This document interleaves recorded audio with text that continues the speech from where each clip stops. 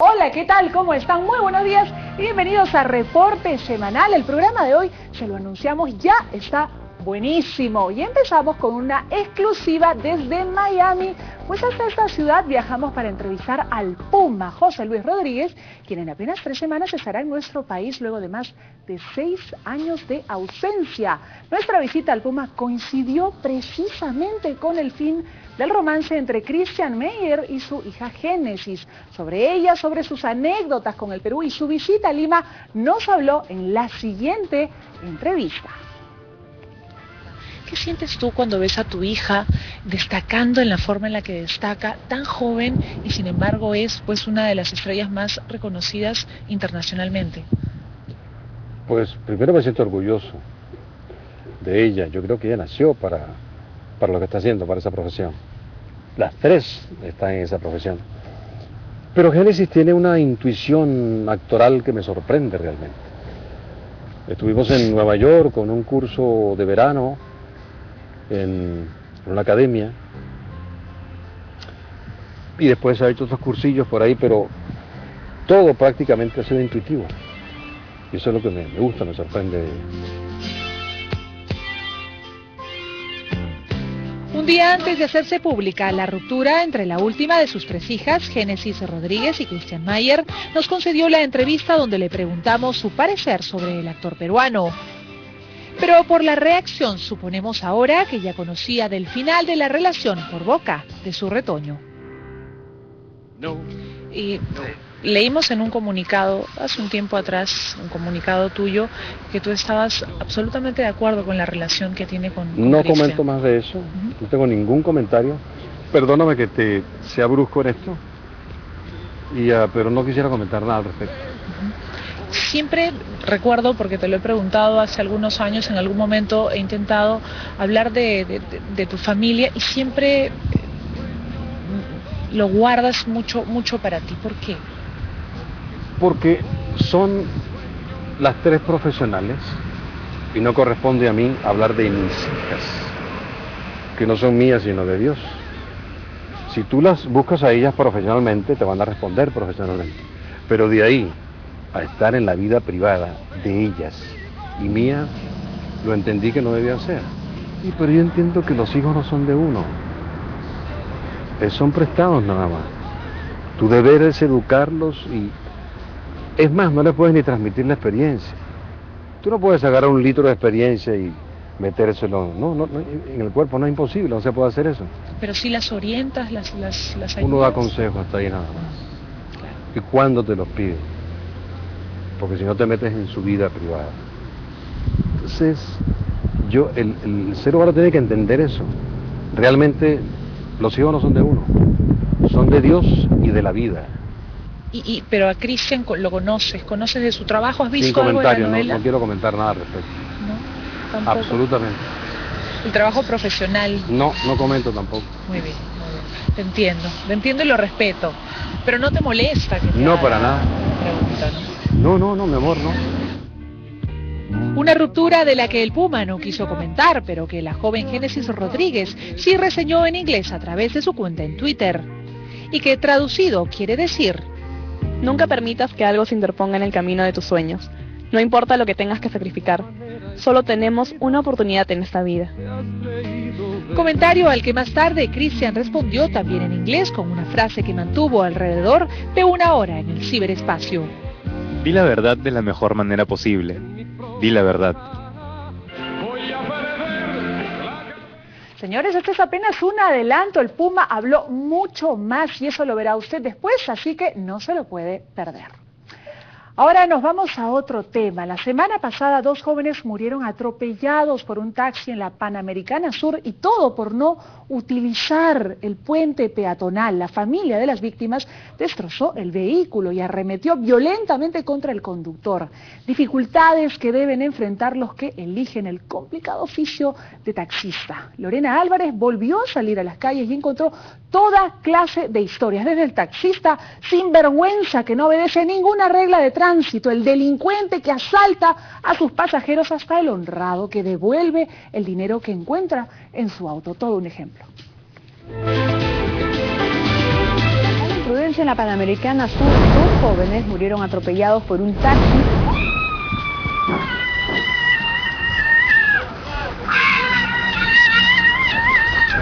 Como la irresponsabilidad de algunos conductores y su desprecio, desprecio por las normas de tránsito, son capaces de dejar al borde de la muerte a inocentes. Una niña se encuentra en coma cierto es que sucedía esta madrugada desató la furia de los pobladores del asentamiento humano Amauca en Atevitar. Incluso esto pudo haberles costado la vida. ¿Has querido robar acá en la zona? ¿Has querido robar en la zona? ¿Has querido robar en la zona? Acusando de robo a ti. Yo no he robado, ¿me llamé? ¿Por qué? Estas noticias ocurrieron a lo largo de la semana y sus protagonistas no son otros que taxistas, esos que circulan por nuestra Lima caótica e informal, con vehículos de todo tipo y en diferentes estados de conservación. Ante la racha salimos a las calles para ver qué ocurre con los taxis y descubrimos más de una historia oculta. Sepa cómo y quiénes circulan por la ciudad ante la vista y paciencia de nuestras autoridades. ¿Ah, pagó? No me digas. ¿Cómo el ¿En Lidercon todavía? ¿Sí que eres de Lidercon? ¿Qué? ¿Cuánto pagó? Casi 15 Yo tenía que haber pasado en diciembre, señorita. ¿Pero en el certamen normal lo dejaron inscribirse? Eh, hay que eh, inscribirse, pero en, un, en una empresa. ¿Cómo? Es como si estaría perteneciendo a una empresa de taxi. Ah, digamos... Particular no hay. no es paradero de taxi y menos de colectivo. Es que por eso le estoy haciendo entender, pues, servicio público tiene que ir por el lado derecho, a recoger pasajeros. No, ese está mal. Vaya usted, fíjese el Ministerio de Transporte de Cuba en el código y fíjese usted. Este hombre que nos habla de reglas es Víctor Santiago Montoya Marchena su vehículo registra en menos de un año siete papeletas que no ha pagado. Sus últimas dos faltas, realizar servicio de taxi con un vehículo no autorizado, es decir, en este, donde sigue llevando pasajeros a modo de colectivo. Víctor Montoya no solo ignoró la luz verde en plena avenida Larco, donde por cierto está prohibido que los taxis recojan pasajeros, sino que pretendió defender lo indefendible. Hacen una norma que no debe ser, porque el pasajero que quiere bajar acá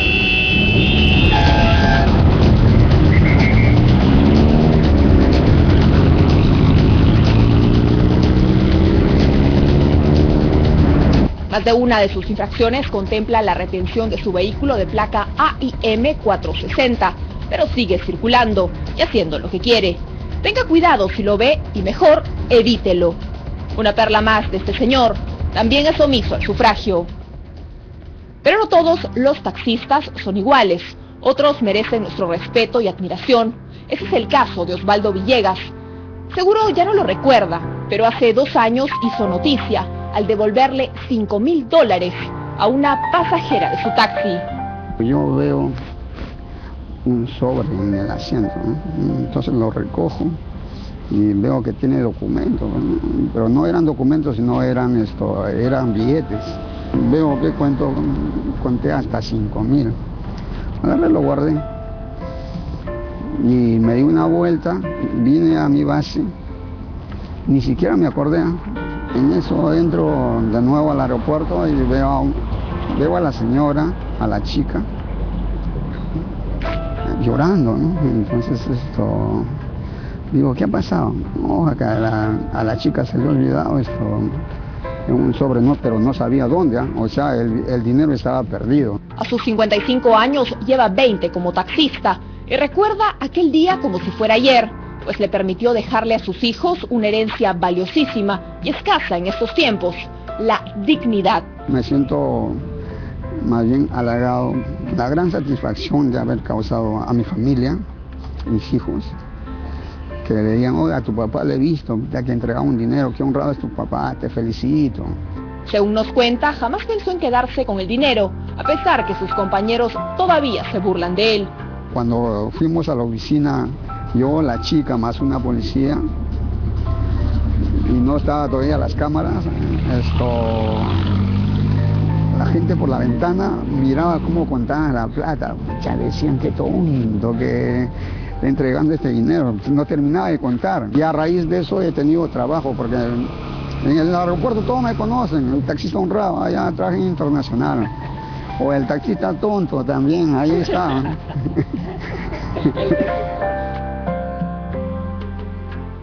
Qué diferente es su historia de otras.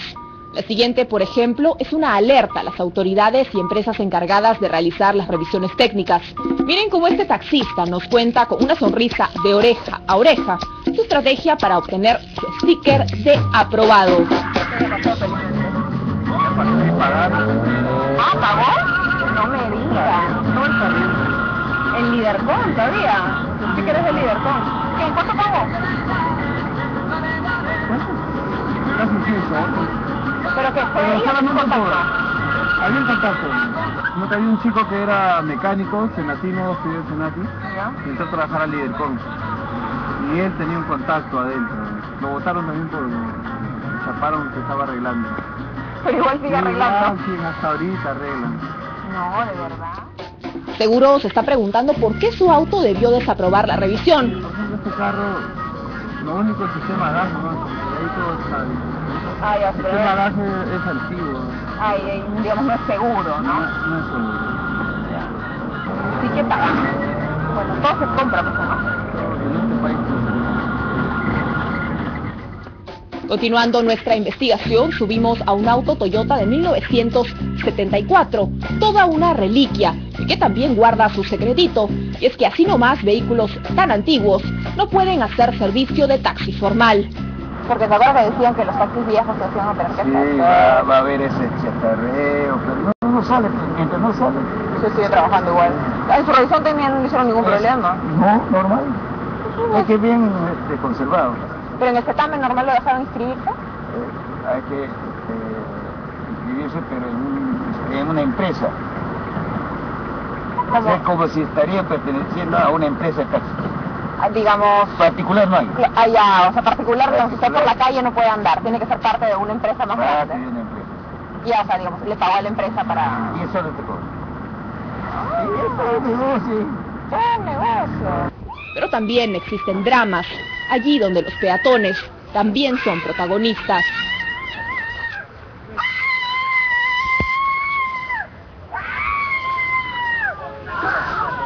Escenas como estas, donde el dolor nubla el juicio, son comprensibles.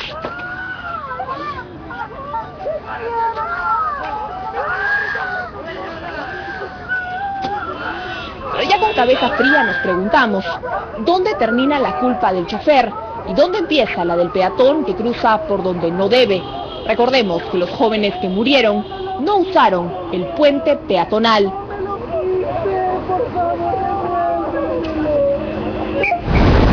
Desafortunadamente no son los únicos y las excusas para tal irresponsabilidad son increíbles. Ida y vuelta. Bueno, sí, pero todo el mundo lo hace, creo, ¿no? ¿Y también ha visto cuánta gente se muere? Sí, cuando es la hora, es la hora, en cualquier lado. y un peatón. Yo soy el único señorita, parece media hora, por favor. El puente peatonal, ¿por qué no cruzaron por el puente peatonal? Ay, caramba, de verdad, no había fijado. ¡El puente peatonal! Ahí está, mira. Vale, ¿Qué lo usas? No, ahorita lo voy a usar ya. ¿Qué pasó? ¿Cómo van a cruzar así la carretera? Ah, piola. Se cruza piola nomás. Pero la semana que pasó también mostró otro caso preocupante, el casi linchamiento a dos jóvenes que intentaron pasar un billete falso en Atevitarte. Aquí también había un taxista en la historia. Señores, señores, cuidado, cuidado, mi cable, mi cable, mi cable, cuidado, cuidado.